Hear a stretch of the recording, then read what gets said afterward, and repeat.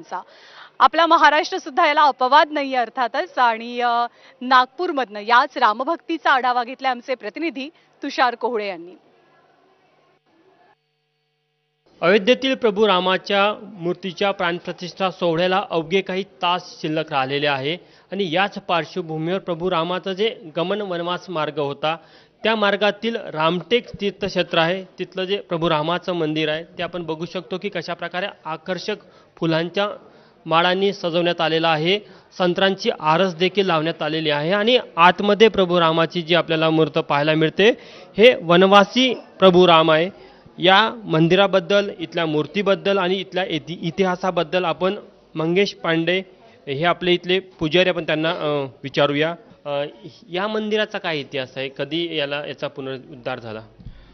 मुळात ही व मंदिरं हजारो वर्षांपूर्वीची आहेत आणि नागपूरचे राजा भोसले त्यांनी याचा बऱ्यापैकी उद्धार जीर्णोद्धार केला. आणि आता जी ही मूर्ती आपल्याला बघायला मिळते आहे ही पूर्णपणे वाळूची तयार झालेली मूर्ती आहे वाळूची मूर्ती आहे आणि ही स्वयंभू मूर्ती आहे. रामटेकच्या मागे एक सूर नदी म्हणून असते. त्या सूर नदीतनं जे रघुजीराजे भोसले प्रथम आहे त्यांना भगवंतांनी दृष्टांत दिला आणि त्यानंतर या मूर्तींची स्थापना झाली आहे.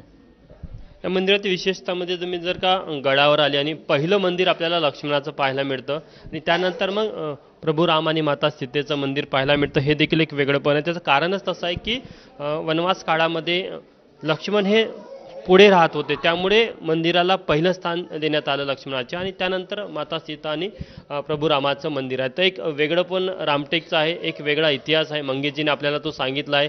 ए बी पी माझाच्या माध्यमातून